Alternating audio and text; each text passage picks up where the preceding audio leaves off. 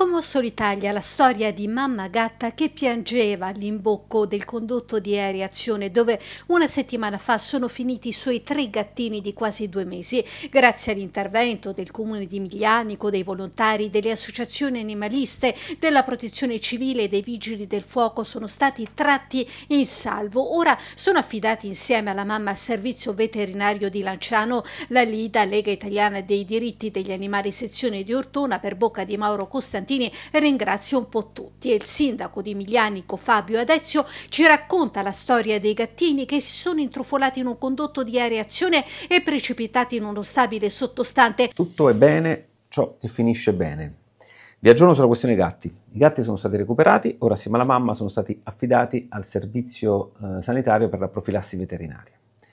Mercoledì scorso abbiamo scoperto di questi gatti finiti in questa fondazione, il recupero era molto complicato, quindi come prima operazione abbiamo eh, monitorato H24 questi gattini attraverso una sonda e li abbiamo alimentati. I gattini stavano bene perché in un ambiente molto ampio, di diverse centinaia di metri quadrati, alto 3 metri, eh, rispondevano bene agli stimoli, quindi abbiamo, eh, ci siamo concentrati nel trovare la soluzione migliore per entrare dentro questa fondazione totalmente interrata, costruita in cemento armato. Dopo una prima ipotesi, particolarmente complessa e particolarmente invasiva, quindi entrare dall'esterno e tagliare questa fondazione dall'esterno, quindi insomma con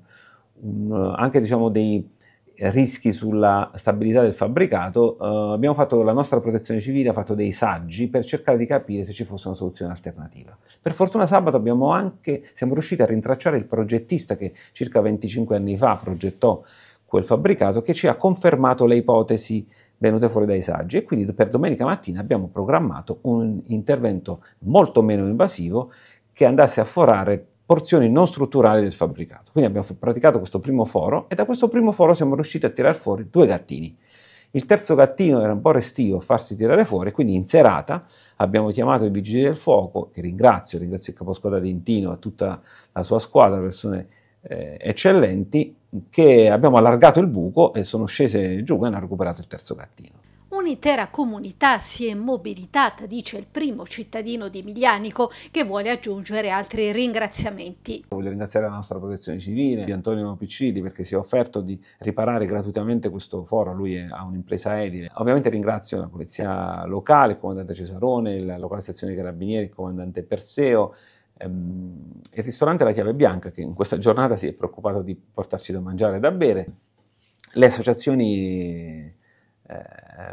animaliste che ci hanno dato una mano, eh, una Lempa si è eh, anche offerta di coprire eh, i costi di ripristino e quindi li ringrazio per la famiglia, ringrazio la famiglia che anche sottoposta diciamo, a una notevole pressione mediatica ha convenuto con noi che quella era la soluzione migliore e quindi ha collaborato in prima persona